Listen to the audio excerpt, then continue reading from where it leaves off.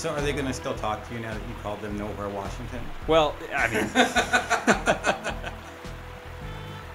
I made a joke when I, I got to be a keynote speaker at this year's Hydrovision. Mm-hmm. And, you know, I got up on stage and I'm like, you know, I said, this has always been a dream of mine ever since I was a five year old hydropower advocate.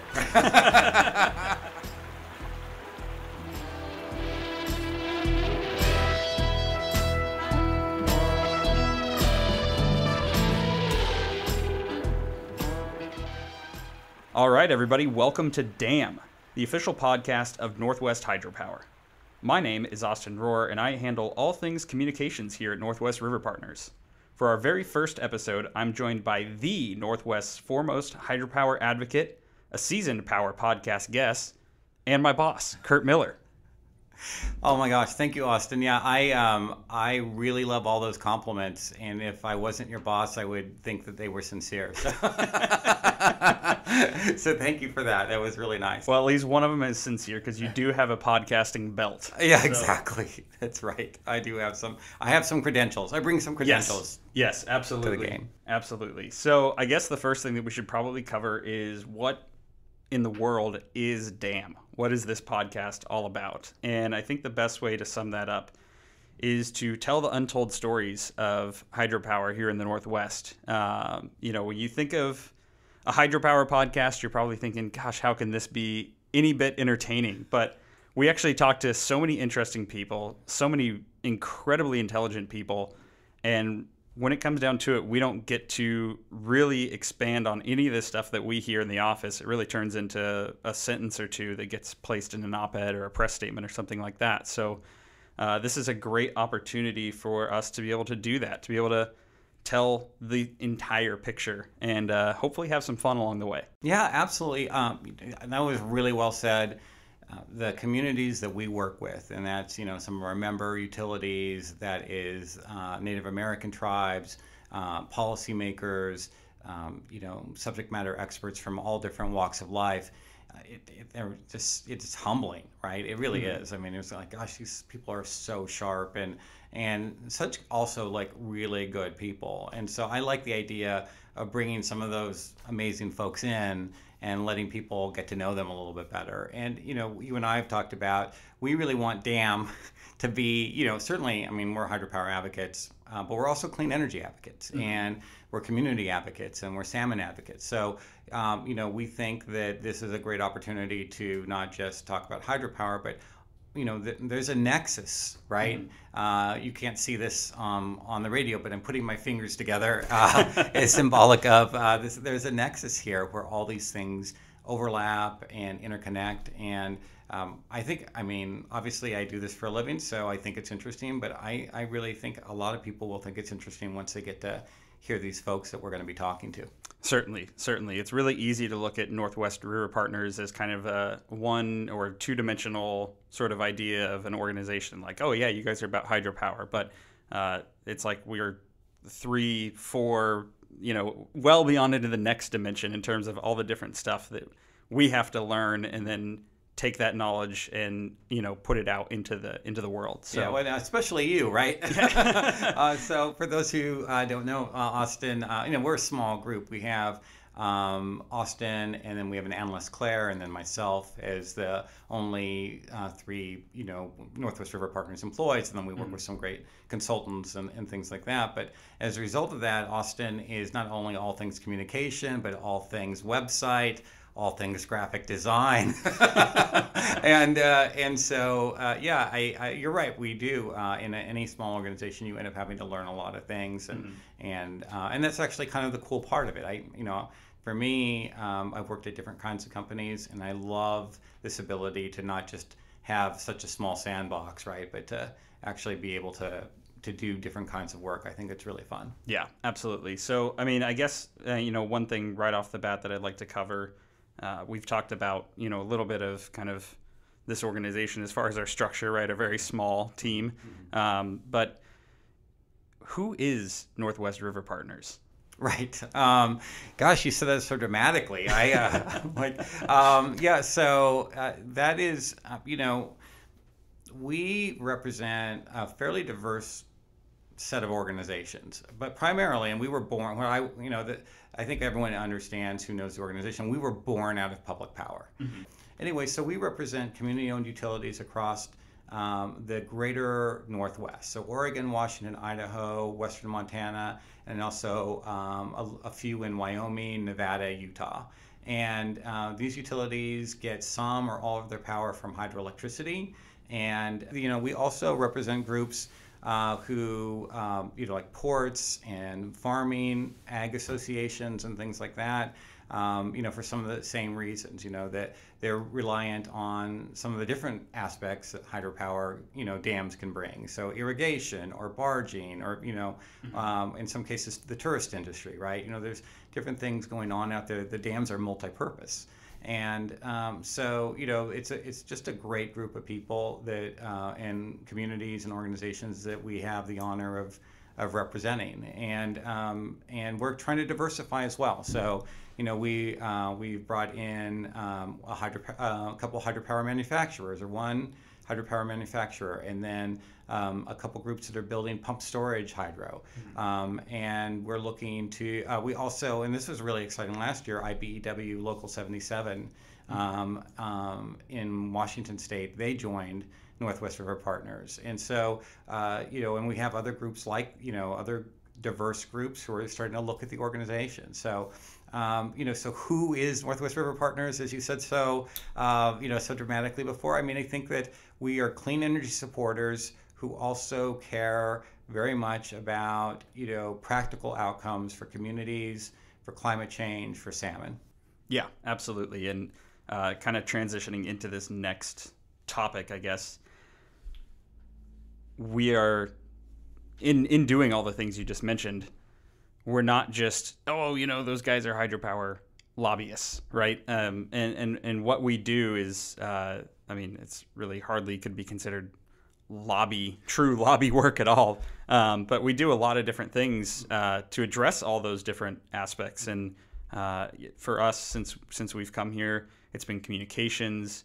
It's been you know some government affairs work. Certainly, it's been a lot of you know community outreach and getting to know all those people that make up our membership.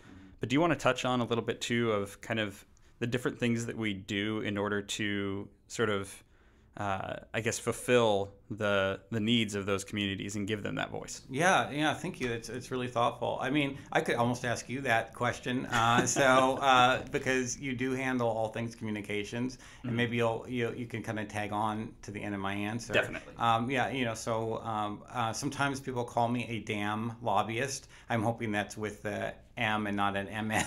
like the podcast. right, exactly, just like the podcast. Uh, but I'm not a lobbyist. Um, I, uh, you know, uh, I, a registered lobbyist has to spend a certain amount of their time during those those activities. But I do uh, meet with, um, you know,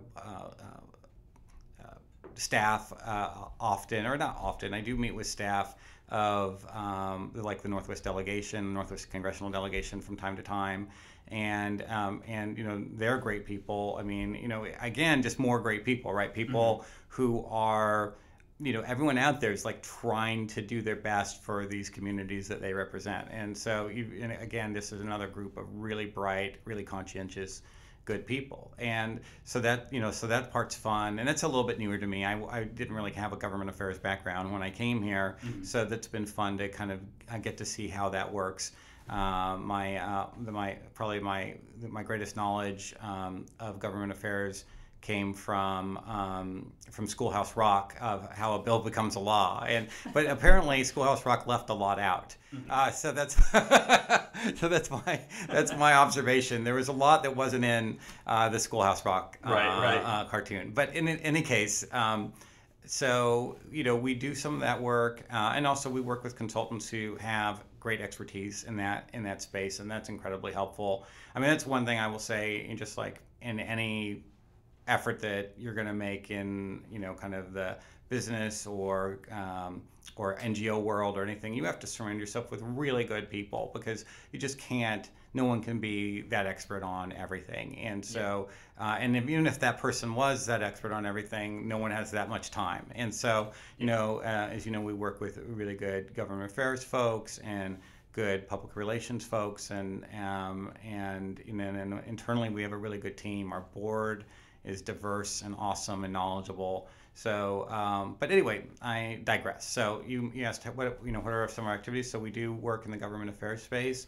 Uh, another thing that's been really fun to get to partner with you on um, is our ad campaigns. Mm-hmm. You know, and again, that's something I never did before, right? You know, I never. Uh, um, never was involved in creating ad campaigns before, and so we again have hired some really great, you know, a really great ad agency um, in North to help us with that uh, to help us with that campaign for our powers water, and then we worked with Two Degrees on our um, Pro Lower Snake River Dams campaign.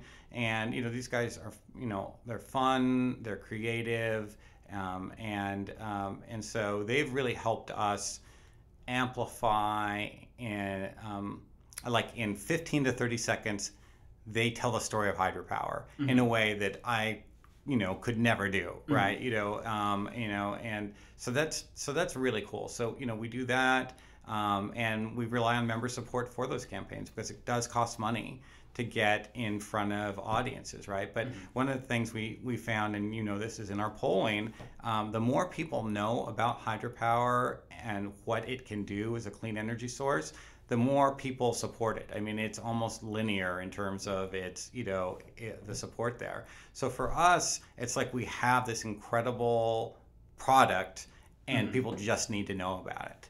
Yeah. And um, and so and that doesn't mean that everyone's going to lo- love hydropower or any particular energy resource. But the, the, the fact is, the more that we educate people uh, on hydropower, the more that they understand why it's so important. Mm-hmm. So we do that work. Um, you know, I have traveled a lot over the, you know, uh, COVID accepted, uh, but um, uh, throughout our membership areas. Uh, to get in front of um, to get in front of those member utilities, sometimes at their annual meetings with their customers or members, and kind of tell the story about hydropower, connect with those communities, listen to them about why hydropower is important to them.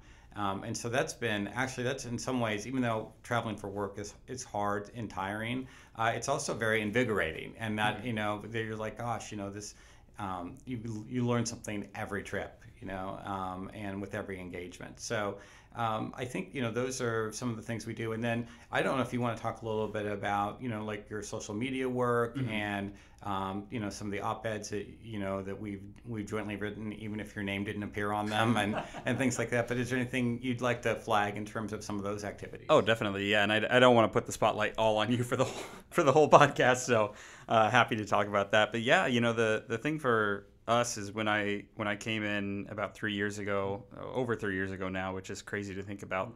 Um, you know, time flies in, in hydropower years. Yes, it does. Um, and you, if I if I recall right, you had short hair and no beard. So yeah, uh, was, yeah. I, I it was cut, a different Austin. I had cut the long hair uh, right before. I was like, you know, I should probably cut this. And then COVID happened, mm. and there it was just like, well, you're not going to get a haircut anyways, so might as well embrace Go it. it right? Go back to what you know. Right. So. right. Awesome. But uh, no, so for us at the time, it was like, okay, well, you know, I start here. I, you know, I get introduced to kind of the organization. You know, come into the office for the first day, get the laptop set up, all that kind of stuff, and it's like you know, I've done a little bit of research, but um, there's really not much of a website here for for Northwest River Partners, right? You know, and, and what is there? I'm like, this kind of looks like you know HTML. For those that know web design, you know, it's like old HTML, uh, and then I I'm going, okay, well, you know, what do we have? What's our kind of presence overall, you know, on the in the digital space because that's how you reach people with communications these days.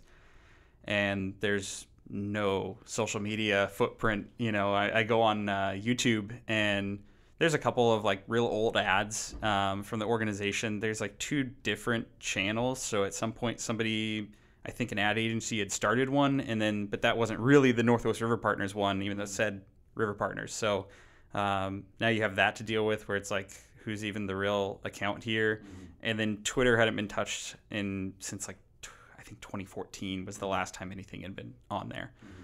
And so in a space where, you know, everyone is on social media where we're trying to reach younger audiences mm-hmm. particularly and really familiarize ourselves with people that aren't familiar with hydropower, mm-hmm. we had to break into that space. And that's a real challenge, especially when you don't have the legacy of an old account.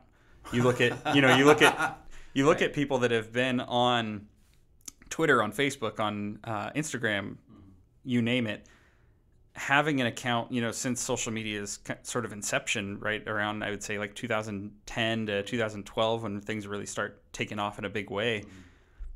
Even by default, th- those guys have so many followers. They've got such an audience because people at the time, you know, I, I remember, you know, social media has changed so much in such a short period of time, and right.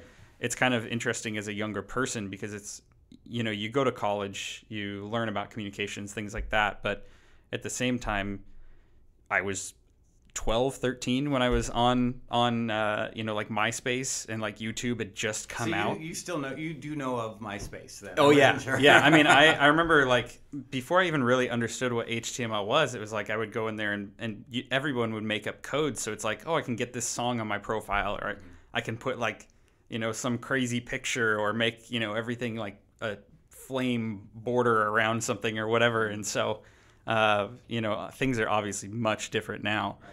But one of the things at the time was like there was a lot of uh, structure, and I, I haven't even really thought about this out loud until just now. But there was so much structure with social media of making the whole sort of experience funnel you towards following people mm. because you needed to get you know put in different areas where you know I I like ice cream, right? Like there would be a Facebook page that was just like, I love ice cream. And then you'd like that. And then you'd follow whatever they post. And so you do that for all these pages, for all these groups, for all these different things.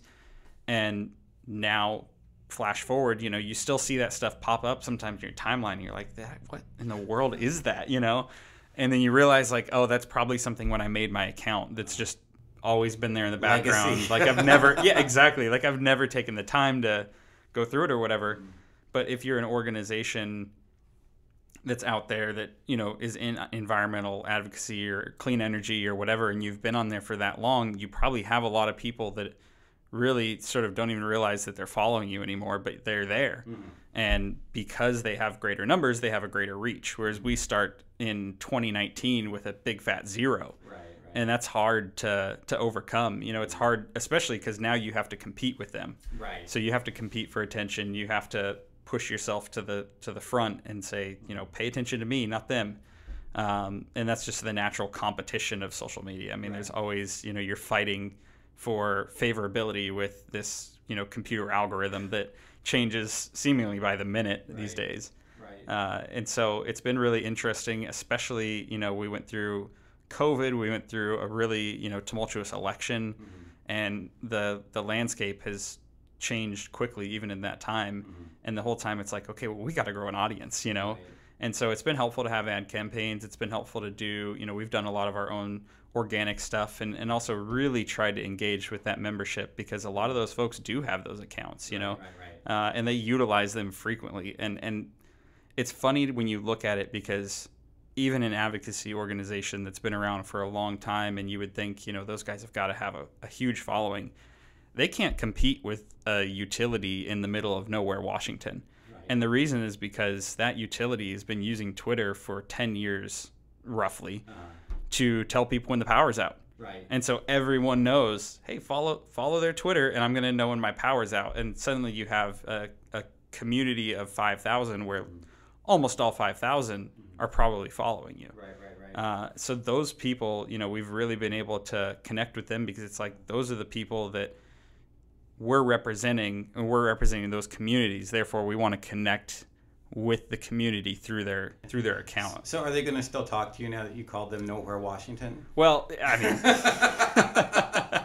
I will say there are some there's some places I've driven through where I've seen like, hey, look, that's one of our members, right. and then you see the population sign, it's like 67. right. so it's like, there and are, I know they serve a much bigger, well, you know, a broader service that, territory, but the, the, town that they're based in, mm. sometimes you know, it's like, oh my gosh, there's no one here. the geographic range of some of our members, you know, it's Yeah. extraordinary. I mean, you know, it right. goes for you know hundreds, I think like hundreds of miles. Right. And uh, and you're right. And sometimes they have really sparse membership. That's actually Mhm. why they are public power. Like uh, back in the day when electricity utilities were um, being formed, they weren't being formed in rural, you know, Washington, Oregon, Mm-hmm. Idaho, right? They um, the investor-owned utilities, were you know the for-profit companies, they're like, we can't afford to serve these people out in the country who are so sparsely, Mm-hmm. you know, distributed, right? You know, because we'll have to string 20 miles of wire to get to one customer, and so Mm-hmm. it wasn't profitable for them, so they they weren't doing it.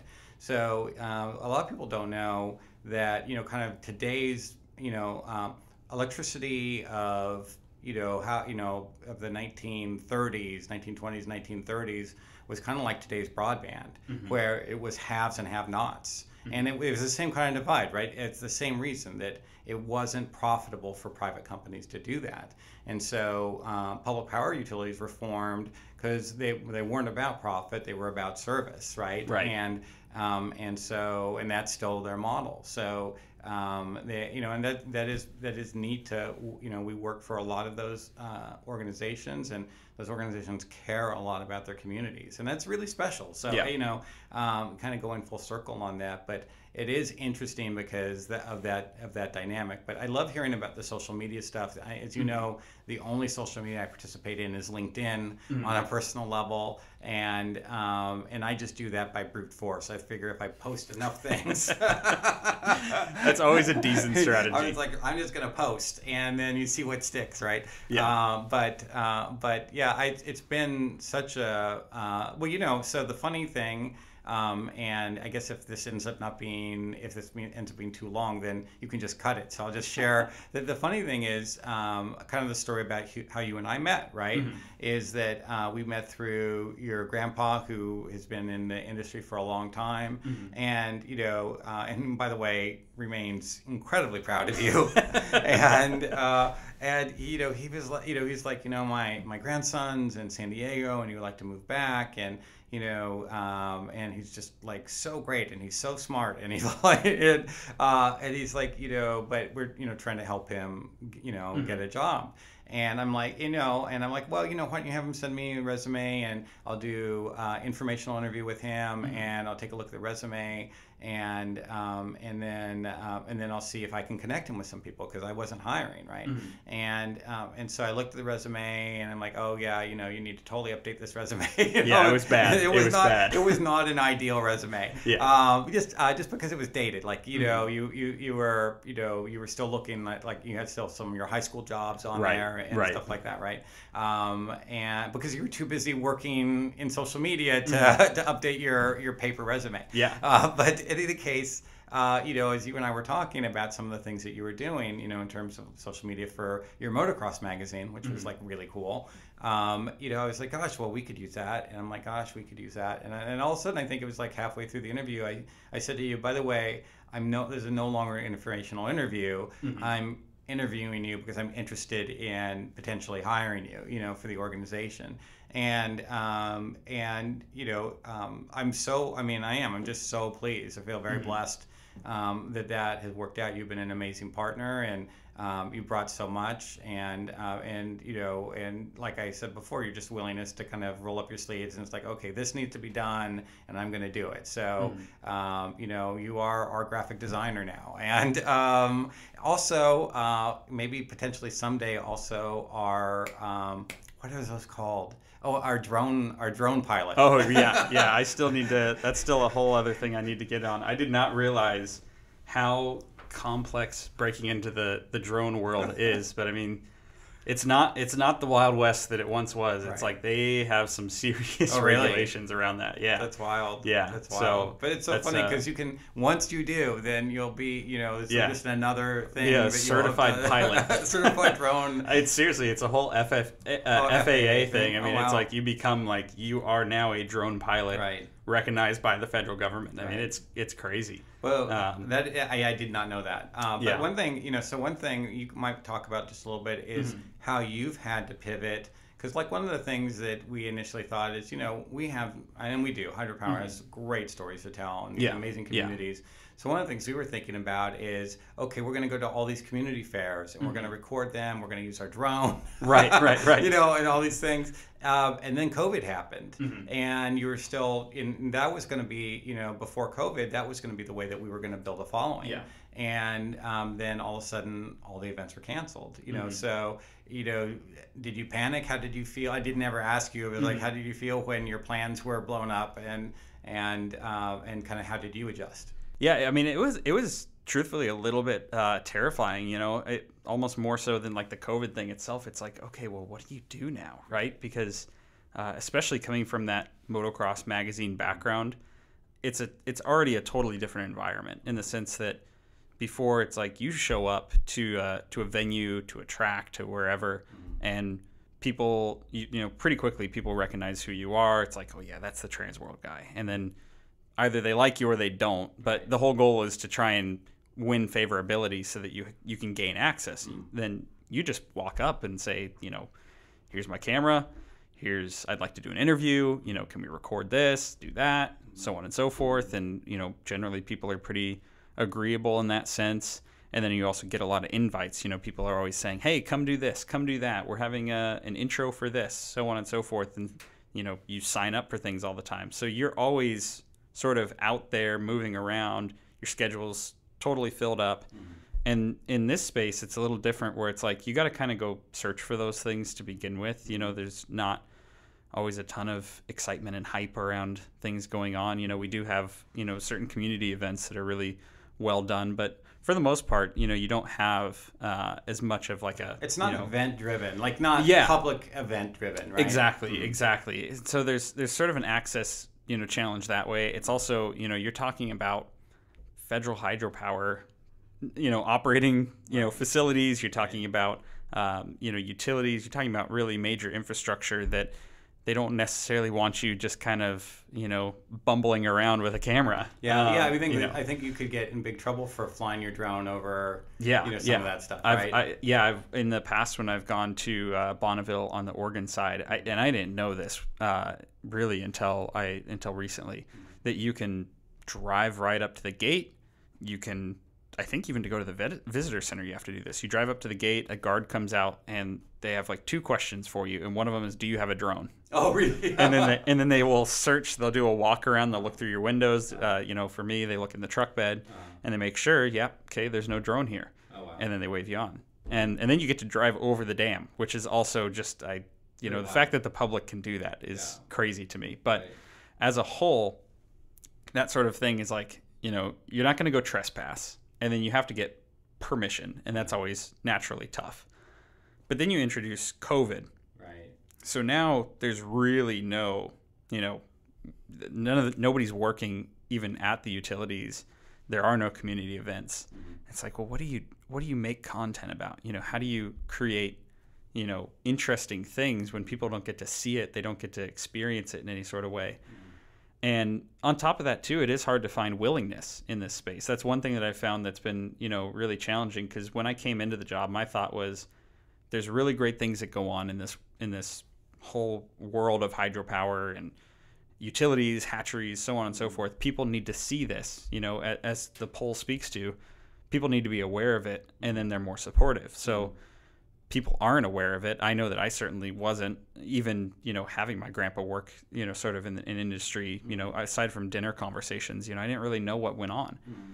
And then I realized, like, well, a big part of that's because nobody really. I mean, one, people don't have the time a lot of times, yes, you know. yeah. But two, it's like, you know, you send out kind of like, hey, do people want to do stuff? And it's like you get crickets back, right? You know, people aren't that particularly enthused about doing these things. Yeah, and, I so, mean, I do think it goes back to like the organizations that we represent, right? Right, You know, right. it's like they are, you know, they are lean and mean in many Yeah. cases, right? Yeah, You I mean, that's why they need us, Right, you know, right. You know, end of that, day. that's that's true. I mean, I think that. Well, I think they need us because you know we're nice people. No, I'm just kidding. Right. But no, but they, uh, they, uh, but no, you're right. I mean, Mm-hmm. um, you know, the, the kind of the public pol- public power model mm-hmm. is because there are so many smaller utilities. They kind of band together to um, to kind of bring in some expertise. So mm-hmm. you know we have our expertise. There are other organizations that they like contract with, like our our our landlords, right? Right. Um, right, right. Public Power Association.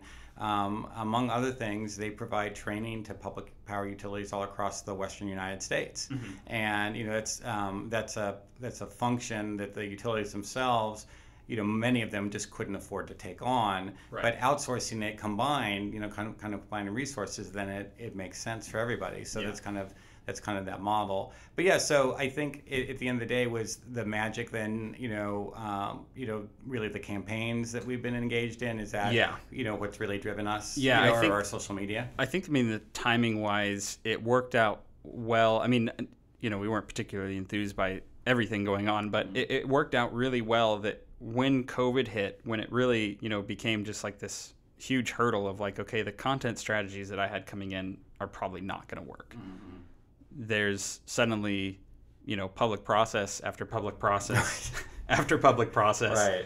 that kept us busy. It kept us on our toes, uh, and it required, you know, it demanded that we had response. We had a campaign. It gave us a lot of content. You know, it gave us a lot of things to talk about, and it's also, you know, it's truthfully, it's more interesting to people, right? It's newsworthy, it's controversial, it's kind of all the things that even though for us it's like you know when is this going to end sometimes right right right you know for for from a communication standpoint it's like well this is a great way to build a following this is a great way to reach people yeah. and it's also a great way to really i mean it you know it, it's a real sharpening of our skill set mm-hmm. of our messaging it's a real test of how accurate is our information mm-hmm. uh, because you know you're you're you know having to really rely on this to be successful i mean right. you can't um, you know, you can't just put out flyers and different things and have it be all rainbows and sunshines all the time, right? It's like, you know, now we have to we have to, you know, engage in this sort of battle on the front lines of right. you know the future of hydropower. Right. So that's been really positive. Mm-hmm. But at the same time, it's also the reason that this podcast is happening too. You know, it's like, what else can we do? How else can we share a message without um, running into the same hurdles mm-hmm. uh, because we need to, you know, we need to be able to grow and be successful and create content in new and interesting ways. Mm-hmm. And through that, it might even open up new doors later on down the line. So it's, you know, it, you really have to just kind of be very adaptive to whatever the environment is. And I think that's the same in general for uh, content creation, for communication mm-hmm. in general, because, you know, kind of like I touched on at the beginning, there's so much shift that happens just e- even in social media, even in you know what can you say or, or what's going to be successful. Right, or, right, you know, right, right. Today YouTube wants a 10 minute video. Tomorrow they want 30 seconds. Mm-hmm. The next week they want this many videos a week. I mean, it's like right. you have to you have to be able to keep up and yeah. and there's other times where for us at least it's like sometimes you just have to look at it and go like that's not feasible given our position as it's an organization. Are, right, right. Exactly. Exactly. You know, we're at the end of the day, we're not trying to be influencers. We're not trying to be, uh, you know, the the definitive news source people come to for all things clean energy in the Northwest. It's like we have a very specific mission. We have specific goals, and we kind of have to stick to that sometimes. And sometimes you have to just say, you know, that's got to be what it's got to be. Right. Um, but you know, we'll do we'll do the best with what we can, and we'll find other ways to be successful. Yeah. Well, you know, there's one thing. I mean, uh, for people. Uh, so speaking of neat people, you're a neat person. I'm glad people are going to get to to know more about you. But um, you know, I, I uh, one of the things people who don't, you know, I get to be more the face of this organization. Mm-hmm. Um, for be- for better or worse, you know, um, and uh, you know, because I'm, I'm I'm the one who's normally doing some speaking, although mm-hmm. although you've done some uh, more recently, which is great. But the um, the the the thing that you bring, and a lot of people might not know, is how strategic you are, um, how multi-talented you are. But um, the uh, the other thing is, I think that you and I really meshed well from the very beginning on the tone that we wanted to set mm-hmm. For our communications. Right? You know, I mean, I think that you know, if you have someone managing your social media as we have you managing social media, you want that person to be in alignment with the vision of your organization. And, and mm-hmm. I think tone is part of that vision. And mm-hmm. we always wanted to be respectful.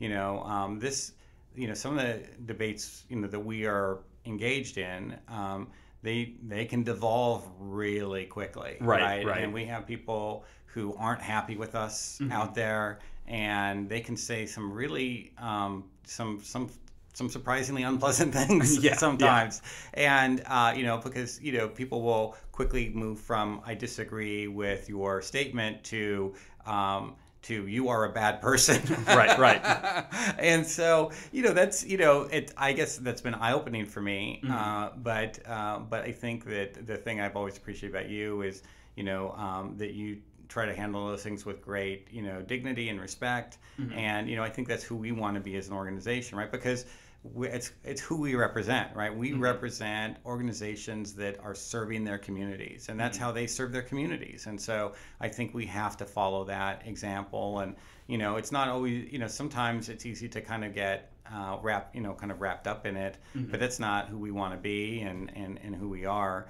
But um, but you know.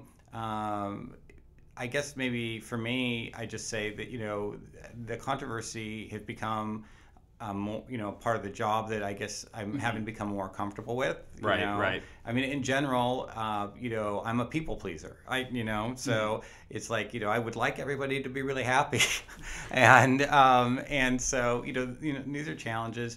But uh, the thing that does always help me, and mm-hmm. I try to remember, is like, you know, even if someone is in a really emotional space. Um, is that like okay people are you know are doing their best um, and um, you know, and you know, maybe they don't understand why we have our perspective, mm-hmm. uh, or maybe they're not right, real interested in understanding that right now. But I think everyone does try to do what's in their heart, and mm-hmm. you know, and hopefully, if we can have enough good conversations with people, like you know, in this podcast, mm-hmm. um, you know, and and people can kind of get to know us a little bit more then you know maybe that diffuses the situation a little bit you know yeah. so i think that um, i think that's you know i think that's good and you know for people who aren't as familiar with the controversies um, around hydropower i mean really um, you know there's a there's a couple different major controversies right mm-hmm. i mean i think that um, per the murray inslee uh, report that or recommendation that just came out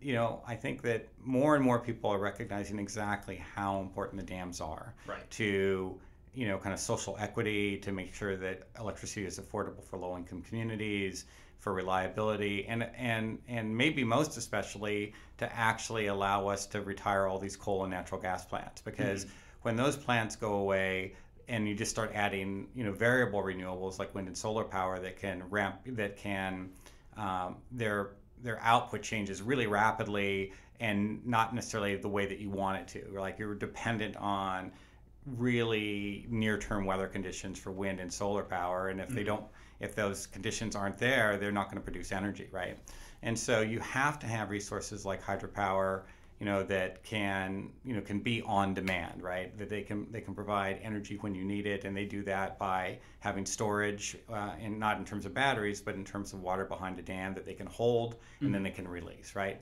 so that part is awesome and and you know I, as you know I call hydropower the superpower of renewables because it comes with its own built-in storage mm-hmm. and it helps us add other renewables. But so that's the great stuff right? Um, and of course I would lead with the good news right? Uh, uh, and then on the on the on the on the bad news side um, salmon in the northwest in the Columbia River Basin in the Snake River but beyond, right? I mean, way beyond, you know, all the way up to Southeast Alaska, all the way down to Northern California. Salmon survival has been on a really steady decline over the last 50 years. Mm-hmm. And so, again, I think you know, we mentioned earlier, it's like, okay, well, people want to do something about that, you know? And so, for a lot of people, like, if the answer, if the reason that salmon declines are doing, you know, are have been so dramatic over the last 50 years is because the ocean is warming, it's changing the balance between predators and prey. We're seeing many, many more marine mammals, you know, consuming many, many more salmon, mm-hmm. right? We're seeing the salmon, you know, food sources kind of go away in the ocean. If that's the reason that salmon are declining, then oh my gosh, we're in real trouble, right? You know, what do we do about that? Because it takes a long time to change climate change, right? Mm-hmm. And so I think people, you know, feel the need. It's like, okay, well, we can't do anything about that. So let's you know tackle the river, right? Even if that's not where the problem is. And so I think that's where the nature of the debate in many cases comes from is people who I think are are really well intended, but I think that you know it's not like you know, it's not like getting rid of the dams has no societal impact. You know, if, if, it, if it didn't, you know, if they were dams and they weren't productive and they weren't there for any reason, then we would say, yeah, you know, a dam that isn't providing benefit to society shouldn't be a dam anymore because mm-hmm. it does change ecosystems and um, it, you know, it makes it a little bit harder for salmon to get past even when they do have excellent fish passage. But at the same time, you know, um, as the Murray Inslee report found, like these dams are essential, right? And so then when you start to think about it, it's like, okay, how do we balance these things? And I think there's some people who are much less concerned about balancing, right? Mm-hmm. You know, and um, and so it becomes it, it's a very passionate issue. Um, and then I think you know the other the other issue too is even if salmon weren't involved, there are some groups that really want free flowing rivers, right? And and I respect that. I mean, I like to camp and hike and you know and and bike and I like to be in nature. Um, and so you know those you know I understand why it's like oh yeah that's you know it's great, but again. Um, you know, literally millions of people live in the Northwest, and so then we have to make choices, right? Mm-hmm. Because more people are coming. So, you know, um, we're going to have to get those people electricity, and so then we have to make you know some choices. And you know solar power comes with some of its own choices in terms of land use wind power you know in terms of land use and and and and, and birds and things like that. And so we're always you know it's like okay what's the right balance? And it's just really hard. Um, so I, I am humbled by that. It's mm-hmm. complex. It's hard.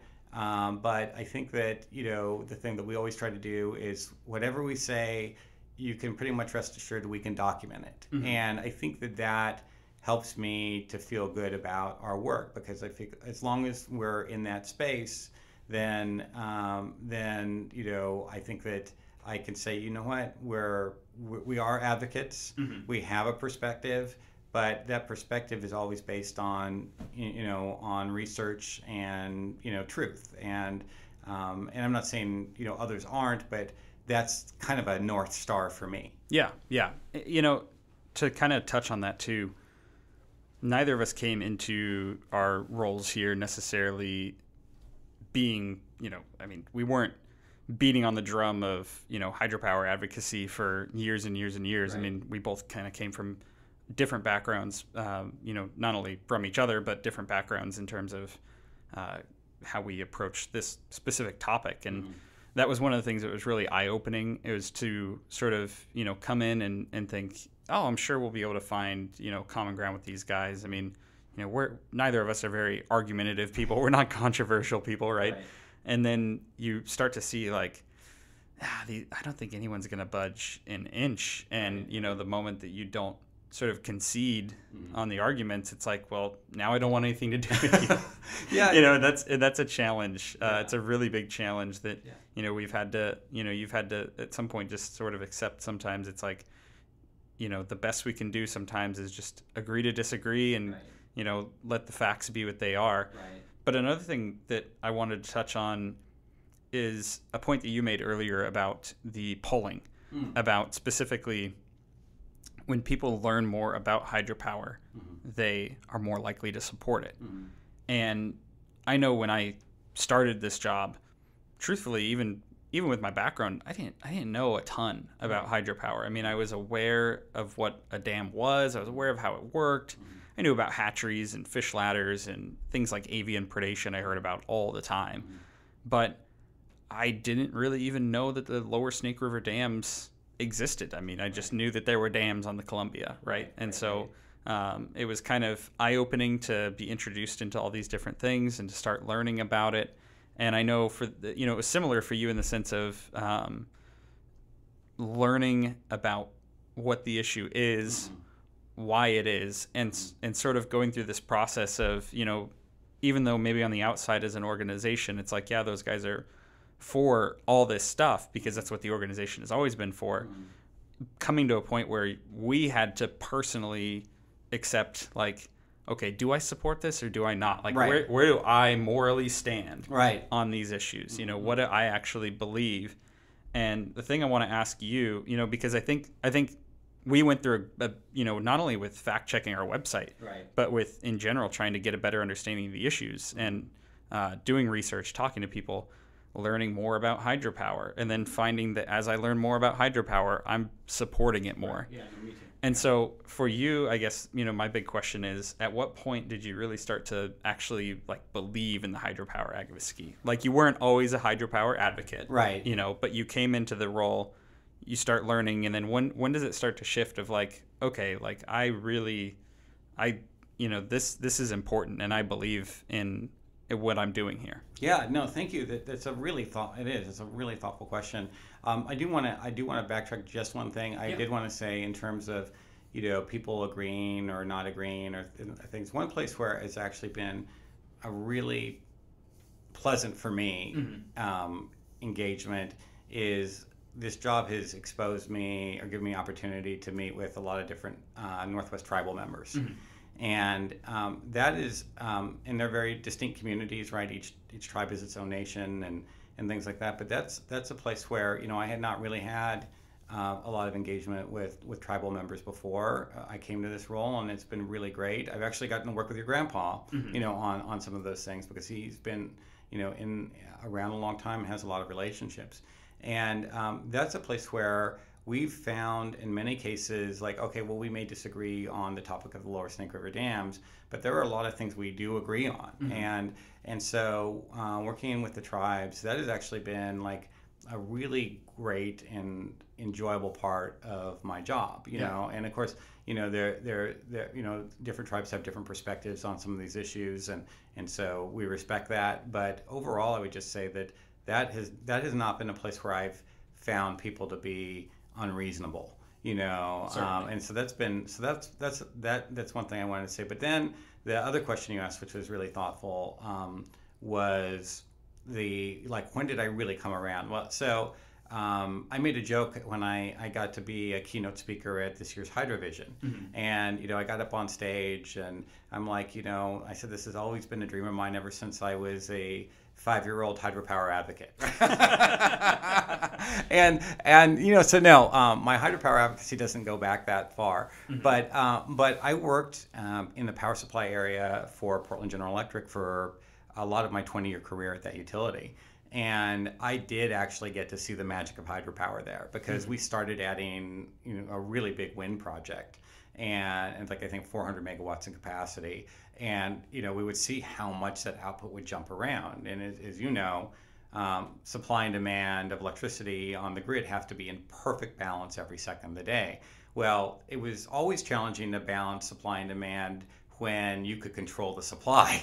Right. But then when the supply in, in form of wind started jumping around in a big way too, not like minor, like not like 25 megawatts, but you could see like hundreds of megawatts of ramping up and ramping down in very short periods of time. Or maybe the wind would just totally disappear for hours or even days at a time in, in some cases, right?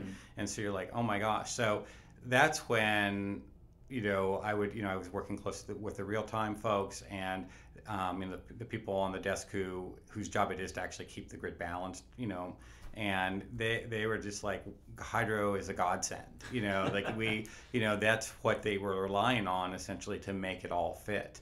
And so from my perspective, um, you know, I was really interested in this issue of intermittency, intermittency of wind power, intermittency of solar power, right?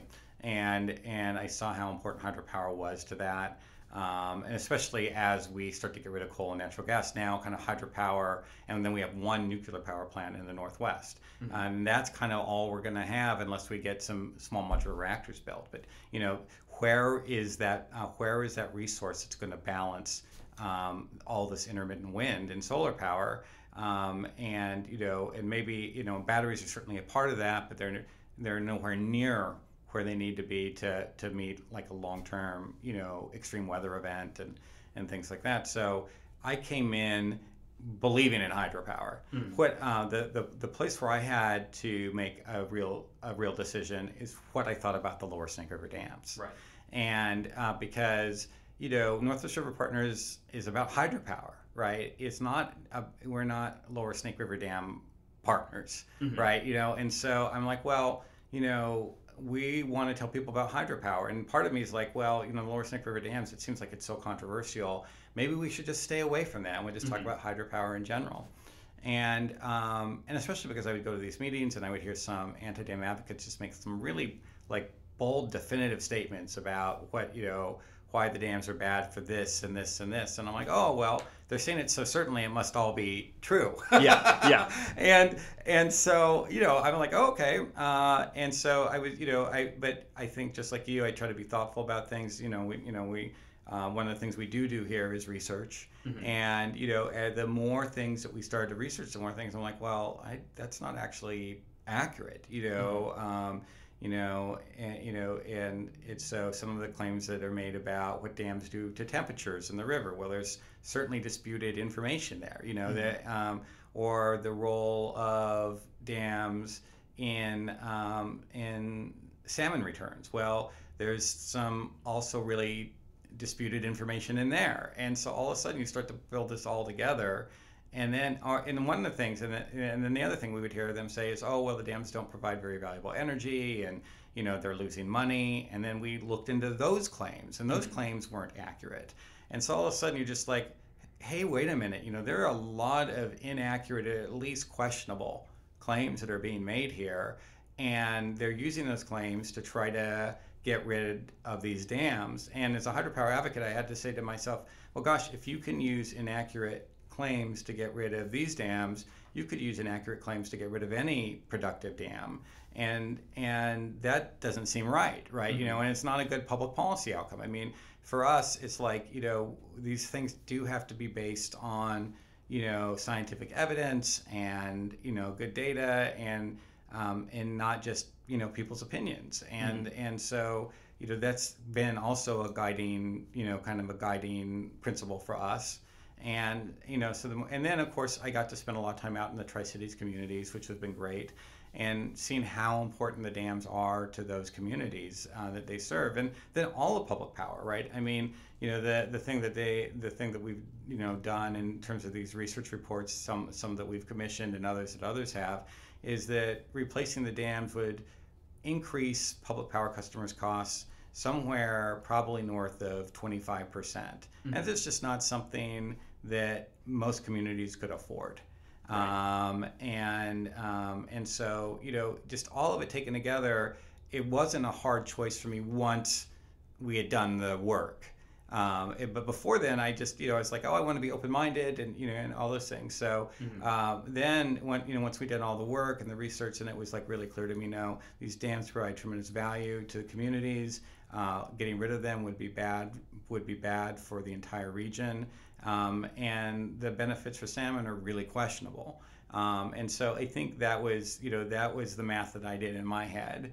And but you're right, it is a moral choice because you um, you don't want to be for something that isn't for the greater good, right? You know, right. and um, because you know one of the things that like people will comment to me, you know, who I get you know work with outside, they're like, oh, you know, you're so energetic, or you've got you know all this you know great energy, but that's because I believe in what I'm doing, right? And and and you know that's and if I didn't, then I couldn't do it you know and um, and so that's like that's you know kind of the secret sauce for me. Um, so anyway that's my journey uh, kind of on not so much on the hydro piece but on the specific lower snake river dams issue. Yeah, yeah, and I, I think that that's you know a similar experience for me as well. You know, uh, the thing that I joke about a lot with people, maybe behind the scenes more than in my actual job, is, you know, I really probably should have been a marine biologist, and I don't mean that in the sense of like, oh, I love science and this and that, but um, it was always kind of the joke when I was growing up as a kid that like, oh yeah, that of course that's what you're gonna go do, you know. I was always into Steve Irwin and Oh, you no know, way, really? animal, animal documentaries way. and like I Okay. didn't I don't think I hardly ever checked out a fiction book in the library as an elementary schooler. It was always like I wanted to go straight to the straight to the nonfiction and then straight to the animals. And, Wow. like that was always my thing. And we would always go it was kind of a summer tradition for a long time that the family would go out for a week long or maybe, you know, a week and a half or something like that up to the San Juans. Mm-hmm. And I had all kinds of like stuffed orcas, and you know, I was like, I'm totally gonna be a marine biologist. I'm gonna study killer whales. Mm-hmm. That was just a, you know, totally my thing. and then I kind of got out of that and got away from it as I grew up and got older. You know, that was you know I was five, six at the time, so you know usually those things don't always stick necessarily. Right. And then I get into college. I'm thinking a totally different path of like mechanical engineering, all this kind of stuff. But at one point, I did take a marine biology class, and I remember the the professor there was like, "It's not a career you want to get into." Really? Oh my gosh. and I was like, "Really?" And he's like, "Yeah, you know, it's you know, there's a lot of glory about being a marine biologist, of like the title and mm-hmm. all that kind of stuff. And there's certainly good jobs out there, but a lot of people like like him, you know, you end up out on a fishing boat in the ocean for you know a couple weeks at a time counting all the dead fish that they dredge up off the bottom and you know documenting which species they are and, and things like that and he said you know it's just it's hard work so I was like, okay, well, that's definitely not for me. Then, like this, you know, Counting dead fish. Whatever- That sounds horrible. whatever hopes or you know dreams that I had, ideas of what that might be, you know, that was like killed off at that point. You know, I was like, I, I don't want to do any of that. Um, but I always, you know, coming into this job, the thing that was interesting for me was salmon. I mean, that was like the dinner table conversation. You know, everything centered around whether it was tribal or hatchery or whatever. It was like it always came back to salmon. It's mm-hmm. like, well, what are the birds doing to the salmon? What are the sea lions doing to the salmon? And mm-hmm. and I, you know, over time also, you know, got to enjoy fishing more as a, you know, personal hobby. And so when it all, when I I started here, it was like, well, I don't want to advocate for what's bad for salmon, Right, right. You know, because I'm really interested in these fish, and I really, I, I care about them. I want them to have a future. That's something I, you know, I would consider myself somewhat of a conservationist-minded person, and mm-hmm, mm-hmm.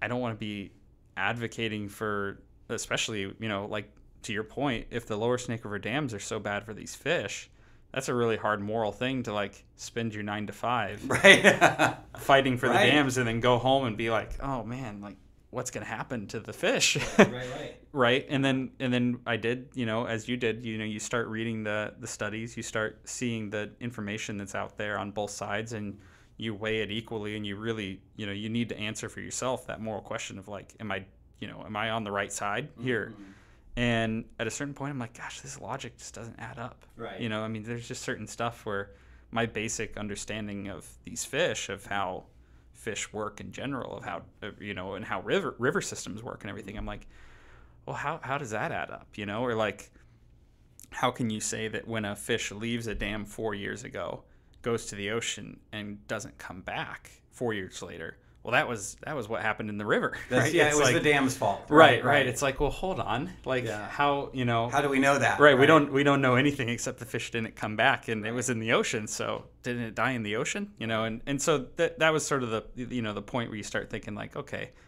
you know, th- there's certain things here that maybe don't quite add up, and you start reading the data, and then it's like, you know, you start to really um, transition that way. But I think you hit on a really important point, which is that for me, coming at it from the salmon angle, Mm-hmm. then starting to see like, well, this is really important to these communities. Right, You- right, You right. can't do that to those people. Right, you Right, know, I mean, you know, and, and even you know, speaking especially to COVID to the last few years, it's like, man, if you raise people's electricity rates another twenty five percent on Mm-hmm. on top of everything else, you know, that's just. I don't know. That's that's something that I personally wouldn't be very happy about, right? Right, you know, right, and, and I wouldn't want to be advocating for it for sure. So Well, yeah, I mean, you've seen, I mean, rent in your area and everything. I mean, it's Oh, yeah. like crazy. You Yeah, know, it is. yeah. But you know, one of the things that really did help me too, and I, and again, we always go back to our members because they are great, but. Um, a lot of our members have their own dams, Mm-hmm. um, and or you know, if not a lot, you know, several, Mm-hmm. and so they ha- they employ their own uh, fisheries biologists.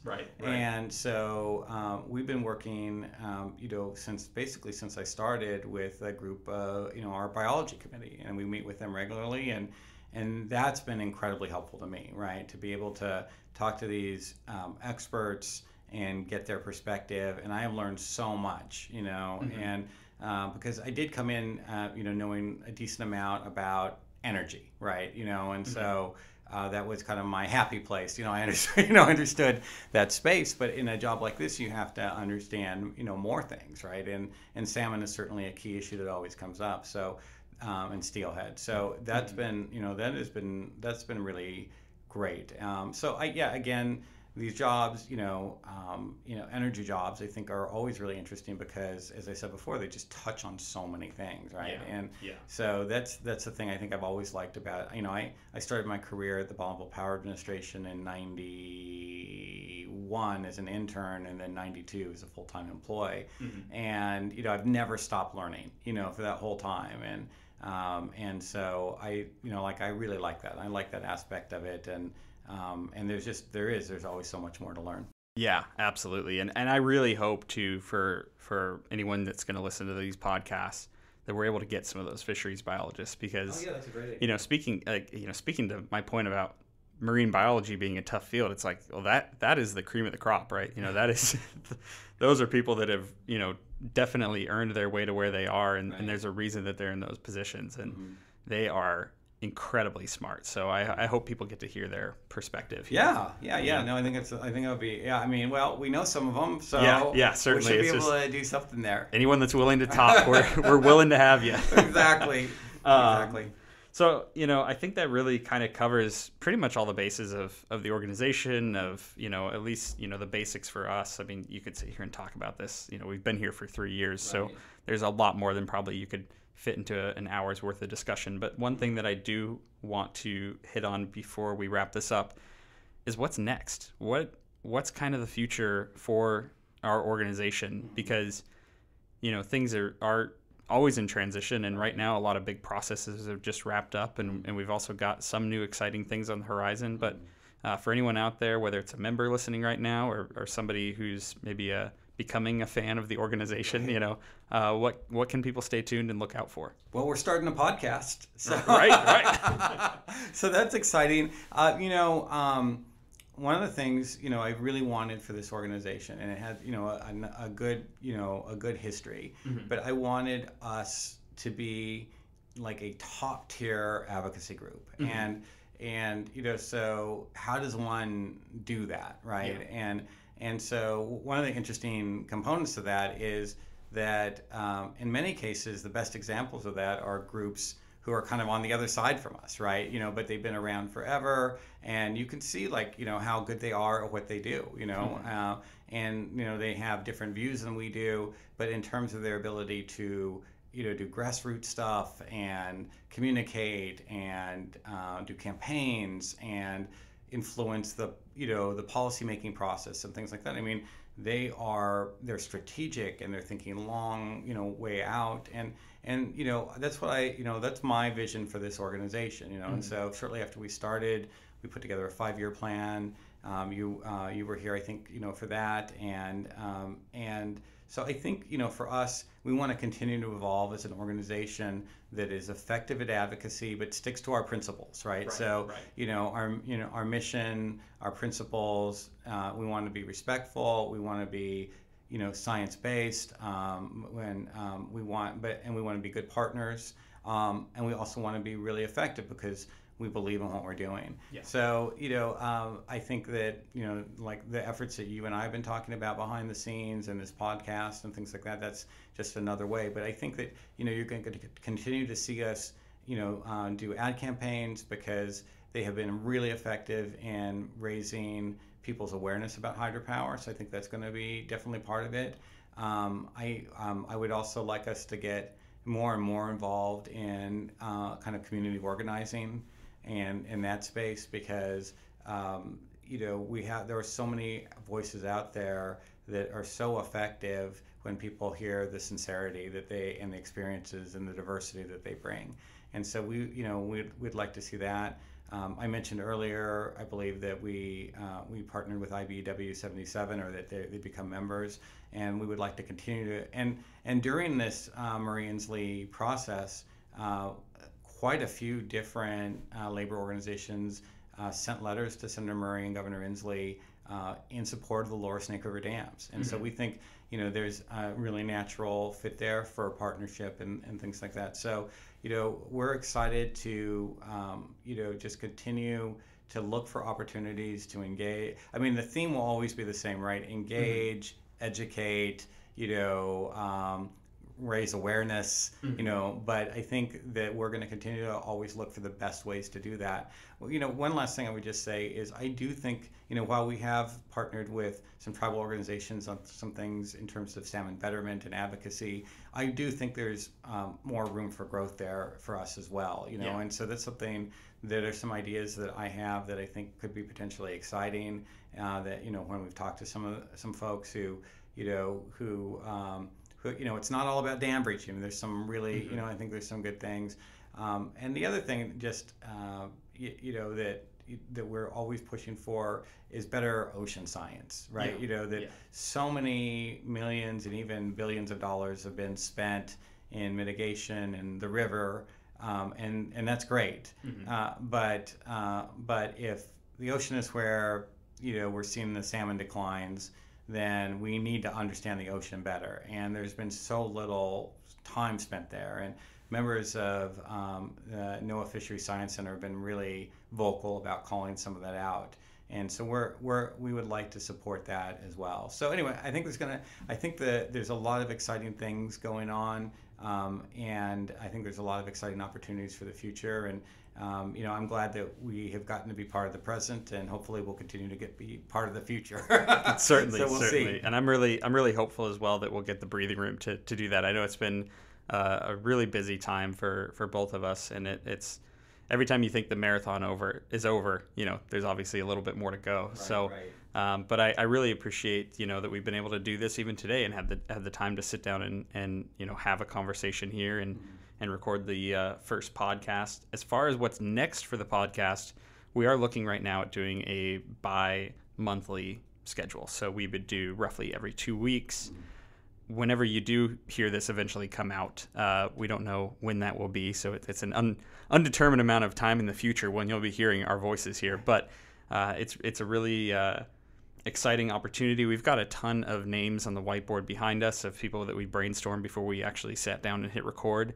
So there's some really exciting folks that I'm hoping we're going to get on here. And by the time this comes out, hopefully a bunch of those will be already recorded and ready to go. Uh, and so keep an eye out for that. Keep an eye out for uh, the podcast coming out roughly every two weeks, like I said. As far as where you can find DAM, we're going to be wherever you get your favorite podcasts. So it should be on iTunes, uh, Apple Podcasts, Spotify, anywhere you like to get your podcasts, you should be able to find us. And in the meantime, be sure to check us out on all of the social media channels. That would be Facebook, Instagram, Twitter, YouTube, LinkedIn. I think that's everything for right now. It's, it's at least the uh, the ones that we're most active on. And you can learn more about us and sign up to support hydropower at nwriverpartners.org. It's a uh, it's not the longest address, but it's nwriverpartners.org. So that's where you can find us. Kurt, thank you so much for sitting down with me today. It's been really fun. I think this is a really exciting opportunity for us, and I'm really looking forward to the future of DAM. Yeah, me too. By the way, uh, so how do we say it? Because it does have an exclamation point at the end. Do do you have to really like give it emphasis, or how does that go? However much emphasis is required to not spike the microphone out and uh, and cause bleeding ears for everyone listening to this on a headphone. That's so. good. Well, it was it was my pleasure. I'm really excited to get to this stage. This is something that you know you and I have talked about for a long time, and um, you were able uh, to get us set up and organized, and I really appreciate it, Austin. Thanks for all you do. Absolutely, we did the damn thing. That's awesome. All right, take care. Thanks.